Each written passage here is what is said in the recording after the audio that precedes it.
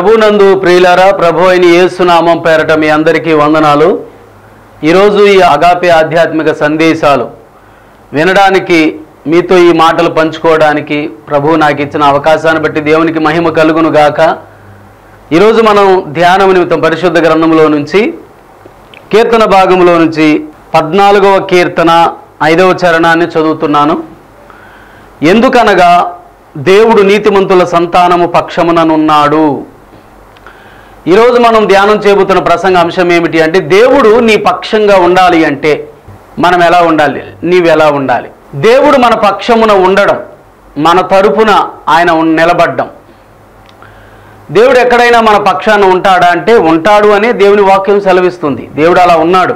పాత నిబంధనలో క్రొత్త నిబంధనలో బైబిల్ మనం ఎక్కడ చదివినా సరే దేవుడు మానవుల పక్షంగా ఆయన నిలబడడం యుద్ధం ఆడడం మానవుల పక్షంగా ఆయన పోరాడడం మానవుల తరపున ఆయన ఉన్నట్లుగా రుజువుపరచడం మనం చూస్తాం.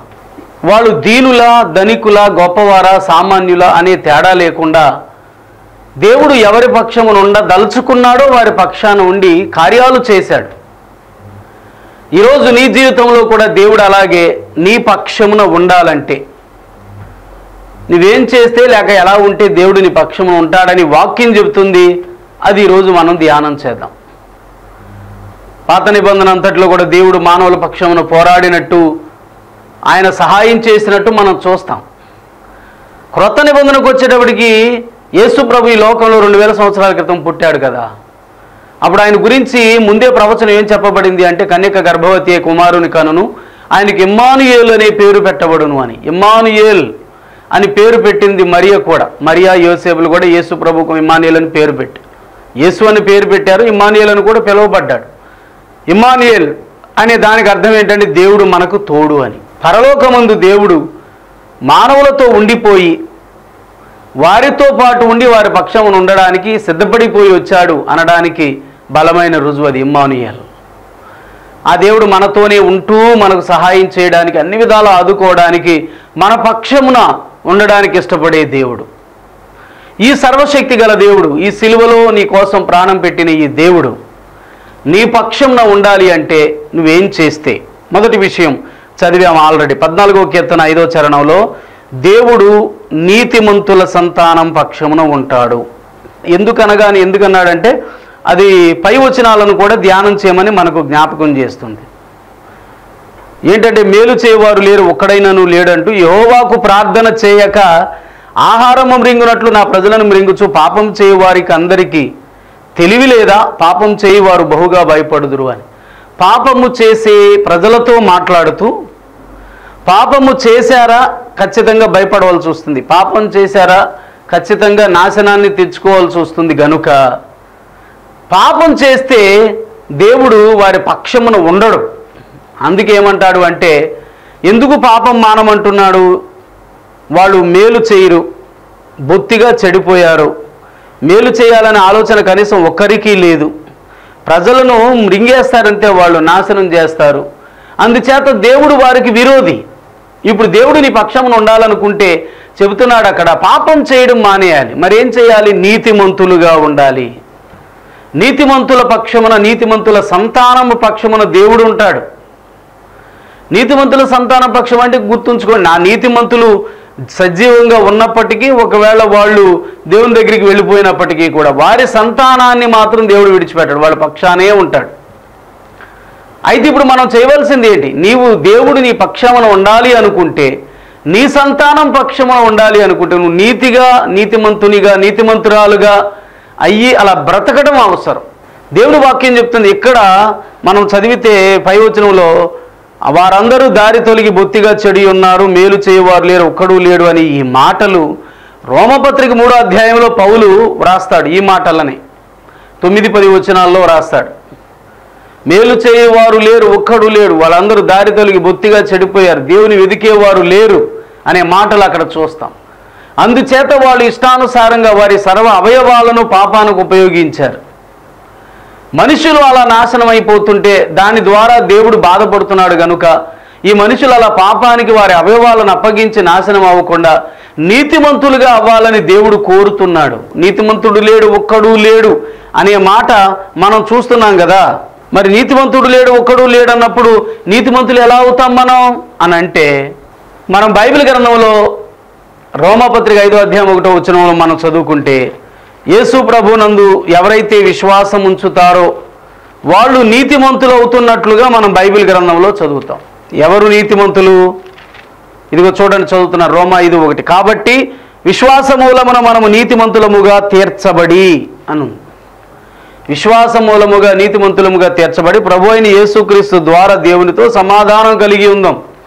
యేసుక్రీస్తునందు విశ్వాసమే మనిషిని నీతిమంతులుగా చేస్తుంది. దేవుని అందలి విశ్వాసం. అబ్రహాం గురించి మనం చదివితే అబ్రహాము దేవుని నమ్మెను అది అతనికి నీతిగా ఎంచబడిను అనే మాట. ఇక్కడ మనం గమనించాల్సింది ఏంటి? రోమపత్రిక నాలుగో అధ్యాయంలో కూడా అబ్రహాము గురించి ఆదికాండంలో వ్రాయబడిన మాటలు రోమపత్రిక నాలుగో అధ్యాయంలో పౌలు రాస్తాడు అంటే దేవుని అందు విశ్వాసం ఉంచేటప్పుడు మనం విశ్వాసం ఉంచుతున్నాము అంటే ఏదో గొప్ప కార్యం చేస్తున్నామని కాదు. రోమపత్రిక నాలుగో అధ్యాయం ఐదో వచనం చదువుతున్నాను పని చేయకుండా ఏ పని చేయకుండా భక్తిహీనుని నీతిమంతునిగా తీర్చువాని అందు విశ్వాసముంచే వానికి వాని విశ్వాసం నీతిగా ఎంచబడుచున్నది అని. అంటే దేవుడు నీతిమంతులుగా చేస్తున్నాడు అంటే మనలో ఏం చూసి మనం ఏం చేశామని మనం ఏం చేయలేదు.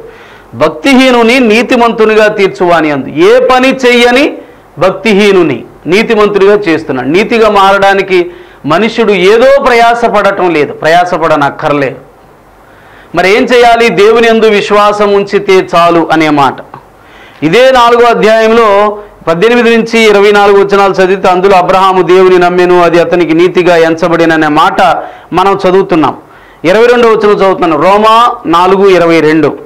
అందుచేత అది అతనికి నీతిగా ఎంచబడెను. అది అతనికి నీతిగా ఎంచబడేనని అతని నిమిత్తం మాత్రమే కాదు కానీ మన ప్రభు అయిన యేసును మృతుల్లో నుండి లేపిన వాని యందు విశ్వాసం ఉంచిన మనకును ఎంచబడునని మన నిమిత్తం కూడా వ్రాయబడేను అని ఉంది అబ్రహామే కాదు మనం కూడా దేవుని నమ్మినప్పుడు నీతిమంతులుగా ఎంచబడుట. ఎంచబడుట అనే మాటకు గ్రీకులో వ్రాయబడినటువంటి ఆ పదం ఏమిటి అంటే జమ చేయటం. మనలో నీతి లేదు. కానీ దేవుడు తన నీతిని మనలో జమ చేయటం.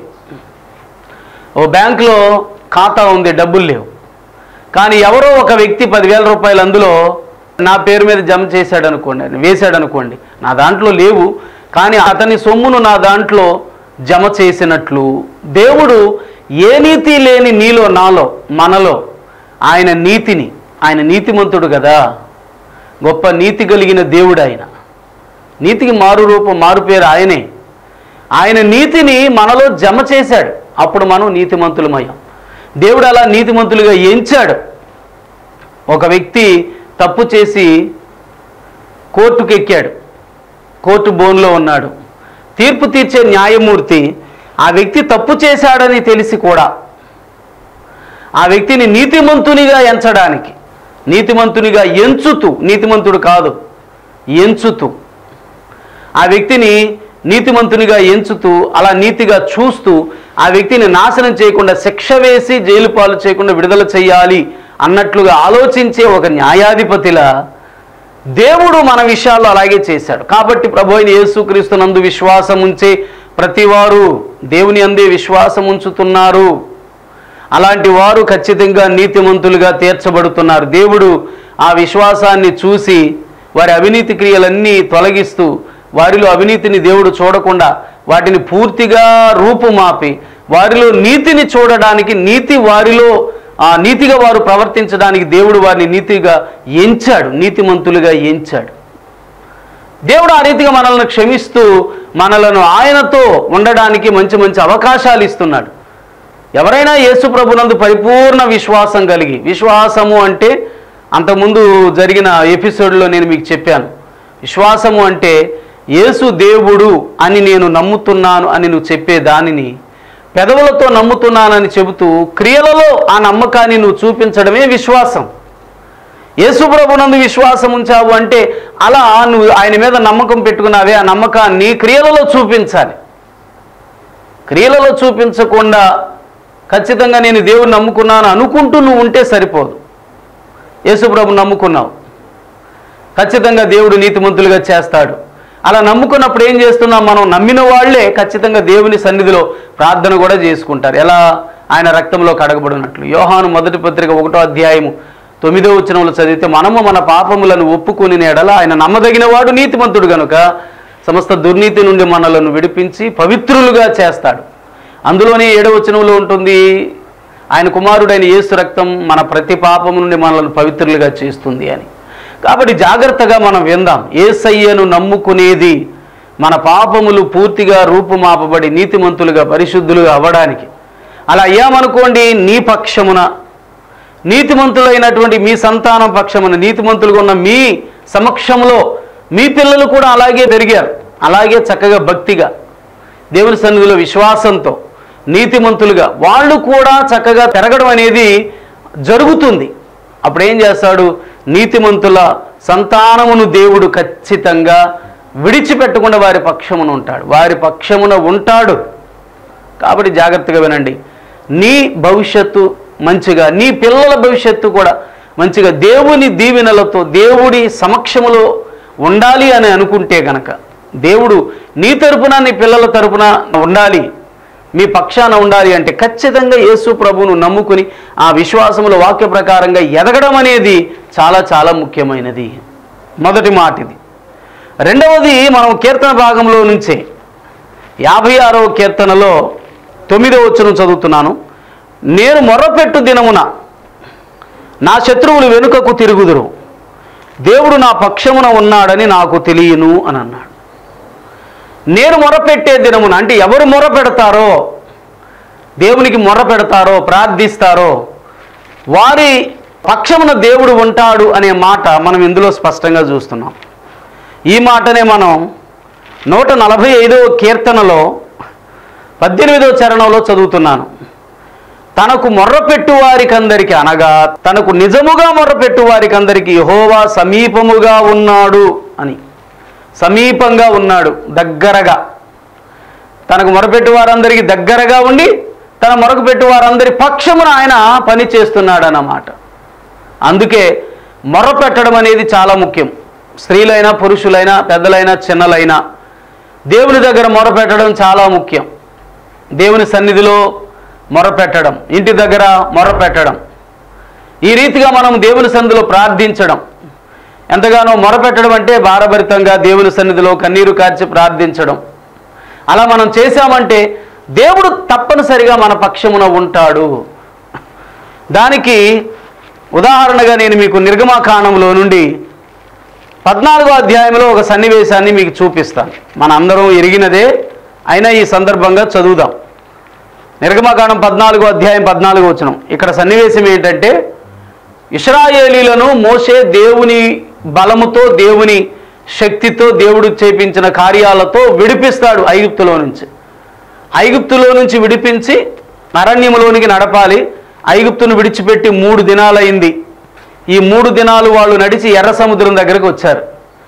ఈ మూడు దినాలలో ఫరో వీళ్ళందరూ మరలా ఆలోచించుకునేరే ఇస్రాయేలీలను బానిసలుగా ఉంచుకున్న మనం ఎందుకు వాళ్ళని వదిలిపెట్టేశాం? లక్షల పల కొలది ప్రజలు ఇప్పుడు పోయారంటే మరలా అంతమంది బానిసలను మనం కొనుక్కుని తేలేము సంపాదించాలన్నా అసాధ్యము అని వారిని మరలా తీసుకొచ్చేయడానికి ఫరో సైన్యం బయలుదేరి వస్తుంది. ఎర్ర సముద్రం దగ్గరికి ఇస్రాయేల్ ప్రజలు వస్తారండి. ముందు ఎర్ర సముద్రం ఉంది దాటుదామంటే పెద్ద ఆటంకంగా. వెనక్కి చూస్తే వెనకాల శత్రువులు తరుముకు వచ్చేస్తున్నారు ఈ ఫరో సైన్యం. వాళ్ళ పరిస్థితి ఎలా ఉందంటే చాలా దారుణం. ముందేమో ఎర్ర సముద్రం వెనకాలేమో ఫరో సైన్యం. ముందుకు వెళ్ళలేరు వెనక్కి వెళ్ళలేరు అక్కడ క్షేమంగా ఉండలేరు. ఇలాంటి పరిస్థితిలో వాళ్ళు ఎంతగానో సణుగుతున్నారు మోసే మీద. గొణుగుతున్నారు. ఎందుకు మోసే ఇక్కడికి తీసుకొచ్చావు? ఐగుప్తులో మేము చచ్చిపోతే అక్కడ సమాధులు లేవనుకున్నావా ఈ ఖాళీ ప్లేసుల్లో మా శవాలు అలా పడి ఉంటే ఈ సమాధులు లేవు కాబట్టి ఇక్కడ ఖాళీ ప్లేసులు ఇక్కడ పడి ఉండొచ్చు అన్నట్లుగా లేకపోతే ఇక్కడ సమాధులు కట్టవచ్చు అన్నట్టుగా తీసుకొచ్చావా అని ఓ సణుగుతున్నారు. ఎప్పుడు మోసే మీద అరణ్యములో ఇలాగే సణగటం మనం చూస్తాం ఈ ప్రజలని. నిర్గమాకాండం పద్నాలుగు అధ్యాయం పదమూడు పద్నాలుగు. అందుకు మోసే భయపడకుడి. యహోవా మీకు నేడు కలుగజేయి రక్షణను మీరు ఊరక నిలుచుండి చూడుడి. మీరు నేడు చూచిన ఐగుప్తీయులను ఇక మీదట మరి ఎన్నడూనూ చూడరు. యహోవా మీ పక్షమును యుద్ధము చేయును. మీరు ఊరకయ్యే ఉండవలనని ప్రజలతో చెప్పాడు. దేవుడు మీ పక్షంగా యుద్ధం చేస్తాడు. వాళ్ళేమో మోసే దగ్గర గోడు వెళ్ళబుచ్చుకున్నారు. తర్వాత మన పదిహేను వచనంలో చదివితే మోసే యహోవాతో మొరపెట్టుకుంటాడు. యహోవా మోసేతో అందుకే అన్నాడు మోసే నీవేళ నాకు మొరపెడుతున్నావు సాగిపోవడని ఇస్రాయేల్ ప్రజలతో చెప్పు అని అన్నాడు. సరే ఈ ప్రార్థన చేసుకుని ఈ ప్రజల పక్షాన దేవుడు ఉండి బలమైన కార్యం చేస్తూ వారిని ఎర్ర సముద్రము పాయలు చేసి నడిపించి పంపించేశాడు అటేపుకి. ఎర్ర సముద్రము పాయలయ్యి నేల ఆరిపోతే చక్కగా నడిచి వెళ్ళిపోయారు. వీళ్ళు వెళ్ళిపోవడం చూసిన శత్రువులు ఐగుప్తీలు వీళ్ళు కూడా అరే వాళ్ళే నడిచి చక్కగా వెళ్ళిపోయారు. మనం ఎంత రథాల మీద గబకం దాటేయచ్చు అన్నట్లు వాళ్ళు బయలుదేరి రథాలు వేసుకుని వచ్చేస్తుంటే దేవుడు వారి వైపు చూశాడు. వారిని కలవరపెట్టాడు. రథాలు రథ చక్రాలు అన్నీ ఊడిపోతూ ఎంతో భయంకరమైన అవస్థ పడుతున్నారు వాడు. ఇక వాళ్ళకి భయం వేసింది. ముందుకు వెళితే మొత్తానికి మనం చనిపోతాం. ఎందుకు? చనిపోతాము ఇస్రాయేలీలు ఎక్కడో అటువైపున ఒడ్డులు ఉన్నారు కదా అని అంటే వారిలో ఆ ఆలోచన వచ్చేసింది. ఏమిటో చదువుతున్నా. నిర్గమకాండం పద్నాలుగు ఇరవై ఐదులో.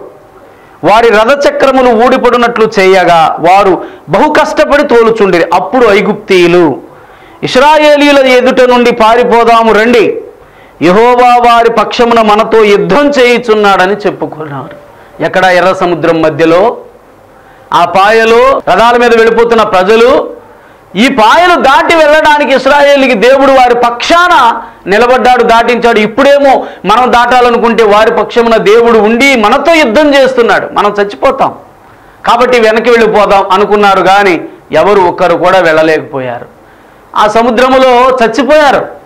దేవుడు తనకు ప్రార్థించుకుంటున్న బిడ్డల పక్షమున బహు గొప్ప సైన్యాన్ని ఓడించి వారిని కాపాడడానికి దేవుడు చూడండి ఎంత చక్కటి కార్యం చేశాడో.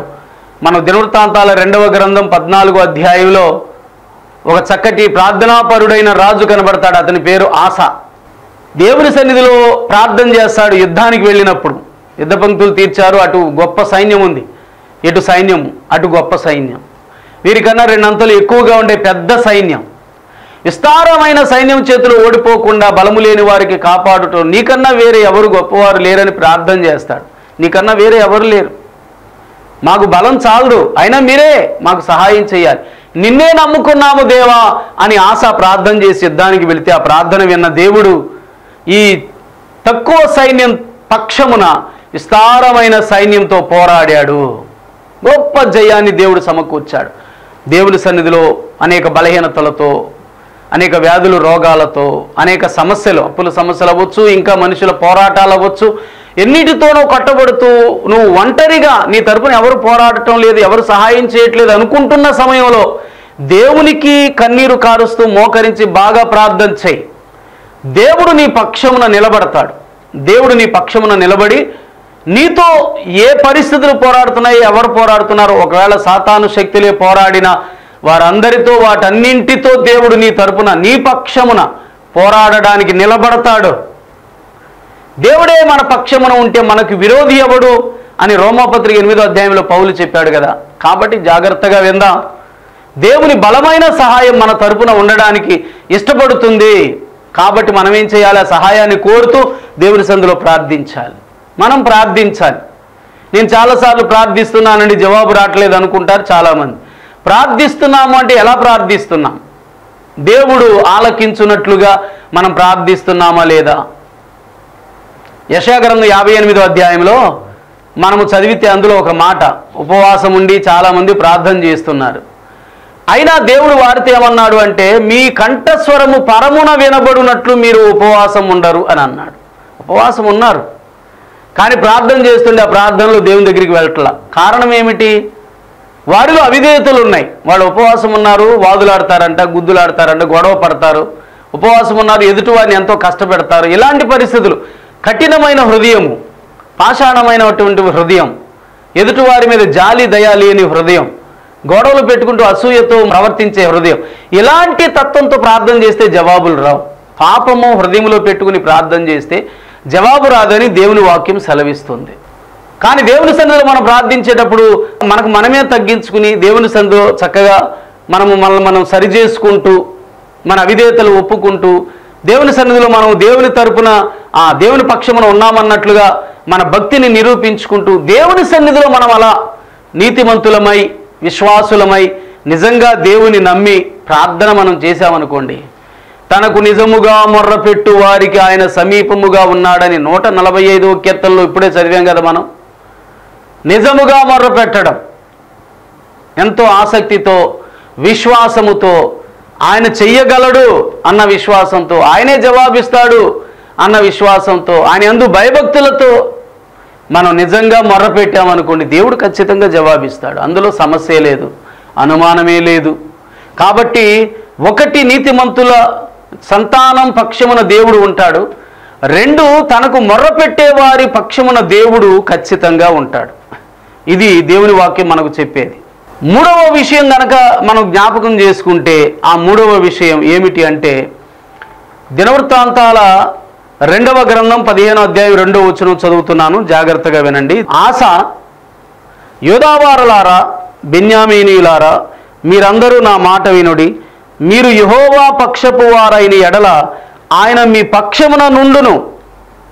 మీరు ఆయన యొద్ద విచారణ చేసిన ఎడల ఆయన మీకు ప్రత్యక్షమగును అని అన్నాడు. మీరు యహోవా పక్షమున ఉండిన ఎడల ఆయన మీ పక్షమున ఉంటాడు. మీరు యహోవా పక్షపు వారవ్వాలి అని అన్నాడు. మూడవ పాయింట్ ఇది. అంటే మనము దేవుని పక్షమున ఉన్నామనుకో దేవుడు మన పక్షమున ఉంటాడు. అంటే మనం ఎప్పుడు దేవుని పక్షమున ఉన్నట్లు రుజువుపరచుకోగలం? చెప్పండి. ఎప్పుడు మనం దేవుని పక్షమున ఉన్నట్లు రుజువుపరుచుకోగలం అని అంటే దానికి మనము అపోస్తల కార్యాలు ఐదో అధ్యాయంలోనికి వద్దాం. ఇక్కడ చాలా చక్కటి సన్నివేశం. చదువుతున్నాను చూడండి పన్నెండు వచ్చిన నుండి అపోస్తల కార్యాలు ఐదు పన్నెండు నుండి. ప్రజల మధ్య అనేకమైన సూచక క్రియలు మహత్కార్యములు అపోస్తల చేత చేయబడుచుండెను. మరియు వారందరూ ఏకమనస్కులై సొలమోన మంటపములో ఉండిరి. కడమ వారిలో ఎవడునూ వారితో కలిసి కొనుటకు తెగింపలేదు గాని ప్రజలు వారిని గణపరుచుచుండిరి. ఇక్కడ జాగ్రత్తగా వినండి. పురుషులను స్త్రీలను. అనేకులు మరి ఎక్కువగా విశ్వాసులై ప్రభు పక్షమున చేర్చబడిరి అనుంది. విశ్వాసులై ప్రభు పక్షమున చేర్చబడుట. మీరు యహోవా పక్షపు వారైన ఎడల ఆయన మీ పక్షమున ఉండును అనే మాటను మనం ధ్యానం చేస్తున్నాం. ఇప్పుడు మనం దేవుని పక్షమున ఉండాలి అంటే చేయవలసింది ఏంటి? ఆ దేవుని అందు విశ్వాసం ఉంచడం దేవుని అందు విశ్వాసం ఉంచినప్పుడు నీతిమంతులం అవుతామని మొట్టమొదటి పాయింట్లో నేర్చుకున్నాం. అలా బ్రతకాలి. ఇప్పుడు అదే విశ్వాసం దేవుని అందు మనం కలిగి ఉంటే మనము దేవుని పక్షమున చేర్చబడుతున్నట్లుగా వాక్యం చెబుతుంది. ప్రభు అయిన యేసుక్రీస్తునందు విశ్వాసం ఉంచేవాడు ఆ ప్రభు పక్షంగా వస్తున్నారు. ఆయన తరపున నిలబడుతున్నారు. ఆయననే నమ్ముకున్నాం. వ్యాధి అయినా రోగమైనా కష్టమైనా సమస్య అయినా ఇబ్బంది అయినా ఇరుకైనా ఏ పరిస్థితి అయినా ఆయననే నమ్ముకోవటం ఆయన మీదే ఆధారపడటం ఆయన ఉన్నాడు అన్న నమ్మకం విశ్వాసం. ఆయన జవాబిస్తాడు అన్న విశ్వాసం. కాబట్టి పరిస్థితులు ఏవైనా అందులో దేవుని సన్నిధిలో విశ్వాసముతో ఆయనతోనే మనం ఉండగలిగితే దేవుని పక్షాన మనం ఉండినట్లే. రెండవ విషయంగా కూడా చెప్పుకోవాలంటే నిర్గమకాండంలో ముప్పై మూడవ అధ్యాయంలో ఈ నిర్గమకాండ ముప్పై రెండో అధ్యాయంలో ఇస్రాయేలీలు మోషే కొండ మీదకి ప్రార్థన చేయడానికి వెళితే నాయకుడుగా అహరోను పెట్టబడ్డాడు. నాయకుడైన అహరోను మాటను వీళ్ళందరూ ఖాతరు చేయకుండా లెక్క చేయకుండా అతనిని బెదిరించి వీళ్ళందరూ ఏమంటారు అంటే మోస అనేవాడు నలభై రోజులు అయిపోయింది ఇంతవరకు రాలేదు ఏమైపోయాడో తెలియదు మమ్మల్ని నడపడానికి మా ముందు దేవుడు కావాలి అంటే అజ్ఞానంతో అహరోన్ ఏం చేశాడు? వాళ్ళందరితో మాట్లాడాడు. మీ మెడలో మీ చెవుల్లో ఉన్న బంగారం అంతా ఇచ్చేయమంటే వాళ్ళు ఇచ్చారు. దానితో ఒక దూడ బొమ్మ పొగరుతో ఉన్న దూడ బొమ్మ తయారు చేసి అంటే ఈ దూడ బొమ్మ తయారు చేయాలనే ఆలోచన అహరోనికి కానీ వాళ్ళందరూ కానీ ఎందుకు వచ్చింది అంటే ఐగుప్తులో నుంచి వచ్చారు కదా. ఐగుప్తులో వాళ్ళు ఎద్దు బొమ్మను ఆరాధిస్తారు వాళ్ళు. ఈ మిశ్రమ జనం కూడా మిశ్రిత జనం ఇస్రాయల్తో కలిసినట్టుగా సంఖ్యాకాండం పదకొండో అధ్యాయంలో మనం చదువుతాం. ఈ మిశ్రిత జనం ఎవరు అనుకున్నారు? ఐగుప్తులో నుండి ఇస్రాయేలు ప్రజలతో దేవుని నమ్ముకుంటూ వచ్చేసిన మేము కూడా మీ దేవుని నమ్ముకుంటామని వచ్చేసిన ప్రజలు వాళ్ళు. వాళ్ళు ఐగుప్తును వదిలిపెట్టి వచ్చారు కానీ మిశ్రిత జనం వారిలో అంతకుముందు ఆచారాలు వదిలిపెట్టలేదు. అందుచేత వాళ్ళు వీళ్ళని ప్రలోభ పెడుతూనే ఉన్నారు ప్రేరేపిస్తూనే ఉన్నారు. వాళ్ళ మాటలకు లోనై ఇతడు దూడబొమ్మ తయారు చేస్తాడు. చెప్పి చేసి వాళ్ళతో అంటాడు ఇస్రాయేలు ఐగుప్తులో నుంచి నిన్ను రప్పించిన నీ దేవుడు ఇదే అని చెప్పి దేవుని మహిమా స్వరూపాన్ని చతుష్పాద జంతువులకు మార్చారని రోమపత్రిక ఒకటో అధ్యాయంలో ఇరవై ఒకటి ఇరవై రెండు వచనాల్లో చెప్పబడినట్లు చూడండి వేల సంవత్సరాల క్రితమే మనుషులు ఎలా మారుస్తున్నారు? వాళ్ళు దేవునికి వ్యతిరేకంగా దూడ బొమ్మను ఆరాధించడం మొదలు పెడితే దేవుడు చూశాడు. మోషతో చెప్పాడు చూసావా ఈ ప్రజలు నీ ప్రజలు ఐగుప్తుల నుంచి వచ్చిన నీ ప్రజలు చెడిపోయారు నన్ను విడిచిపెట్టేశారు. ఇలా ప్రవర్తిస్తున్నారని చెప్పగానే మోసే వచ్చాడు చూశాడు. చాలా బాధపడ్డాడు. సరే ఇదంతా ఎలాగున్నా కానీ ఈ విగ్రహారాధన అయిపోయిన తరువాత ఈ విగ్రహారాధన దగ్గర వాళ్ళు పండగ ఉత్సవం చేసుకున్నారు. తాగారు తిన్నారు తందనాలు ఆడారు ఇష్టం వచ్చినట్లుగా లేచి ఆడి ఏదో చేశారు. బాధపడిపోయిన మోషే దేవునికి ప్రార్థన చేస్తాడు. అలా ఉంచండి. ఈ నిర్గమకాండ ముప్పై రెండు అధ్యాయంలో వారితో మాట్లాడతాడనమాట మీరు యహోవా పక్షమున ఉండిన ఎడల. ఇరవై ఆరు వచ్చిన నిర్గమకాండ ముప్పై రెండో అధ్యాయం ఇరవై ఆరు వచ్చిన అందుకు మోసే పాళిమేక ద్వారం నిలిచి యహోవా పక్షమున ఉన్నవారందరూ నా ఎద్దకు రండి అనగానే లేవీలందరూ అతని ఎద్దకు కూడి వచ్చేసారు యహోవా పక్షమున ఉన్నవారు అంటే ఇక్కడ ఏంటి? చాలా మంది విగ్రహాలను ఆరాధిస్తూ దేవుని పక్షమున ఉండలా వేరే పక్షమున ఉన్నారు. ఇప్పుడు యహోవా పక్షమున ఉండడం అంటే ఆ బొమ్మను ఆరాధించడం కాదు దేవునినే ఆరాధిస్తాను దేవునినే సేవిస్తాను దేవునినే కొలుస్తాను దేవునినే ప్రార్థిస్తాను ఆయన పట్లే భయభక్తులు కలిగి ఉంటాను అనేటటువంటి సమర్పణతో ఆ కమిట్మెంట్తో రావడం. ఎవరు దేవుని పక్షమున ఉండేవారు అంటే దేవునికి వ్యతిరేకంగా ఉన్న ఏ ఆరాధన అయినా సరే విడిచిపెట్టి దేవుని మాత్రమే ఈ సృష్టికర్త అయిన దేవుణ్ణి. కలువరి సెలవులో ప్రాణబెట్టిన యేసు ప్రభు దేవుణ్ణి. ఎవరైతే నమ్ముకుని నిన్నే ప్రార్థిస్తాం నువ్వే మా దేవుడవు నువ్వే మా ఆరాధ్య దైవం నిన్నే కొలుస్తాము నిన్ను తప్ప ఇంకెవరిని పూజించవు అనే ఒక నిర్ణయం తీసుకుని ఈ దేవునినే కొలవటానికి ఎవరు వస్తారో వాళ్ళు దేవుని పక్షమున ఉన్నట్లే. కాబట్టి యేసుప్రభునందు విశ్వాసం ఉంచడం ఆయనను తప్ప ఇంకెవరిని ఆరాధించకుండా ఉండడం ఇదే దేవుని పక్షమున నిన్ను నిలబెట్టే నిర్ణయం. అలా నువ్వు ఉన్నావనుకో ఖచ్చితంగా దేవుడు నీ తరపున ఉంటాడు అన్న మాట మనం బైబిల్లో చదువుతున్నాం. నీ తరపున దేవుడు ఉంటాడు. కాబట్టి దేవుని తరపున ఉండడానికి మనం ఏం చేస్తున్నాం? చాలామంది దేవుని నమ్ముకున్నాం కూడా దేవుని మీద నమ్మకాన్ని వేరే ఇతరత్వమైన వాటి మీద మళ్ళుతున్నాయి అన్నమాట జ్యోతిష్యాల మీద ఇంకా ఇంకా ఇతరత్వం ఇలాంటివి ఉంటాయి కదా చెకును చెప్పించుకోవడం సోది చెప్పించుకోవడం జ్యోతిష్యం చెప్పించుకోవడం ముహూర్తాలు చూడడం ఇవన్నీ ఏంటండి? ఇవన్నీ దేవుని వాక్యానికి బదులు వాటి మీద నీ ప్రాధాన్యత చూపుతున్నావు. వాక్యమును కాకుండా వాటి మీద ప్రాధాన్యత చూపుతూ వాటికే ప్రాముఖ్యంగా నమ్మకం ఉంచుతున్నావు అంటే ఏస్గేర్ గ్రంథం పద్నాలుగో అధ్యాయంలో అనుకుంటే దేవుడు చెబుతాడు ఏమని అంటే ఈ ప్రజల హృదయములలో విగ్రహాలు ఉంచుకుని నా దగ్గర విచారణ చేస్తున్నారని. చాలామంది క్రైస్తవుల ఇళ్ళలో విగ్రహాలు ఉండవు కానీ వారి హృదయాల్లో మాత్రం విగ్రహాలు ఉంటాయి. దేవునికి స్థానం ఉండదు వాక్యానికి స్థానం ఉండదు. ఇలాంటి లోకాచారాలు ఎన్నింటికో స్థానాలు ఉంటాయి. వీళ్ళందరి పక్షమున దేవుడు ఉండడు. కాబట్టి మనము దేవునందు విశ్వాసం ఉంచి ప్రార్థన చేసుకుంటూ నీతిమంతులుగా ఉండి నీతిమంతులుగా బ్రతుకుదాం. మన తరపున మన సంతానం తరపున లేక పక్షమున దేవుడు ఉంటాడు. మనం ప్రార్థన చేసుకుంటే మన పక్షమున దేవుడు ఉంటాడు. మనము దేవుని నమ్ముకుని ఆయనను మాత్రమే కొలుస్తూ ఇంకెవరికి లోబడకుండా ఆయన ఎందు భయభక్తులు కలిగి ఉండేలా ఉంటే ఆయన పక్షమున మనం చేరిన వారం అవుతాం. అప్పుడు దేవుడు మన పక్షమున ఎప్పుడూ ఉంటాడు. కాబట్టి ఇలా చేస్తూ దేవుని సందులో ముందుకు సాగుదాం. దేవుడి మాటలు దీవించునుగాక ఆమెన్. ప్రేమగల తండ్రి విత్తబడిన మాటలు వింటున్న ప్రతి వారిని ఆకర్షించాలి. వారి జీవితాలను మార్చాలి. నీకు లోబడి ప్రభు నీ సహవాసం వారు కోరి నీలోకి వచ్చేటట్లు సహాయం చేయమని. ఏసునామం పేరట ప్రార్థించి వేడుకుంటున్నాం మా పరమ తండ్రి. ఆమెన్.